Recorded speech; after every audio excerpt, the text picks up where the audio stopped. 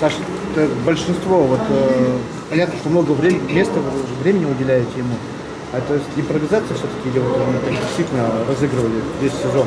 Ну как, ну на протяжении всего сезона ребята все-таки не просто же так тренируются, отрабатывают определенные схемы, там, комбина- комбинации, чтобы реализовывать их в игре. Динамо чем-то удивила? Ну, в принципе, нет. Хорошая мобильная команда, достойный соперник. Как агрессивно очень играл Чек, либо просил действительно защитника. Ну как, ну э, не, э, большинство сейчас уж э, команд в хоккей перешли на атакующий хоккей, но мы тоже стараемся не сидеть в окопах, там ждать, а по возможности идем активно, если ситуация вынуждает.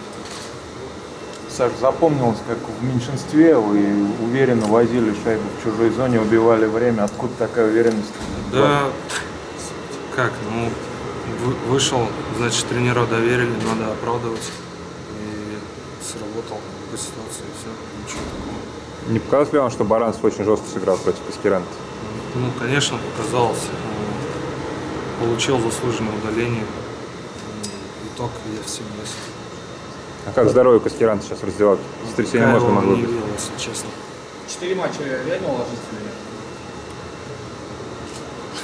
Провокационный вопрос какой-то. Ну, все увидим, это хоккей все-таки. Самое интересное впереди. Ну, желание есть такое? Ну, ну, конечно, есть. Кто вам скажет, что нет желания? Конечно. Возвращение Ильи Ковальчука, как встретить?